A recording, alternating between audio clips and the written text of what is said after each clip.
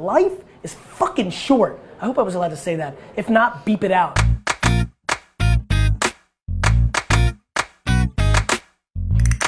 Hey everybody, this is Gary Vay, and this is the Ask GaryVee off India. Great question, India.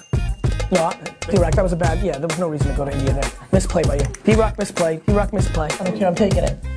Yeah, that's right. I don't. I think. Oh sh- shoot, this is way heavier than I thought. And so I don't know what. So obviously you just felt an edit because D-Rock screwed up. You messed up. Yeah, I got Facebook Live. Eat crap, D-Rock. D-Rock, I just f***ing told you that I'm not editing on any of my mistakes. Jesus with this guy. You guys like when I struggle with my words because it happens so rarely. Uh, uh, whether the, the, I uh, grappled with uh, on this episode, I tape the episode, tape.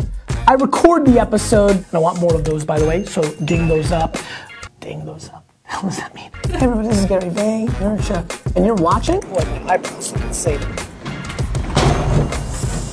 Please tell me you caught that. No, and And oh my god, I'm weird. I fire over Patriot shit, I promise. Cassandra. Cassandra. Why did that, why, was, why did that happen? Um, Cassandra.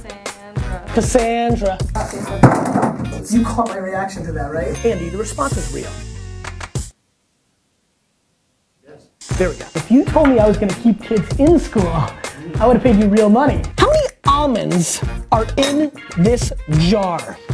Have bad news for somebody in this room. You're gonna have to count them. Stefan, you're the new guy. Don't you ever say I just walked away. I will always want you.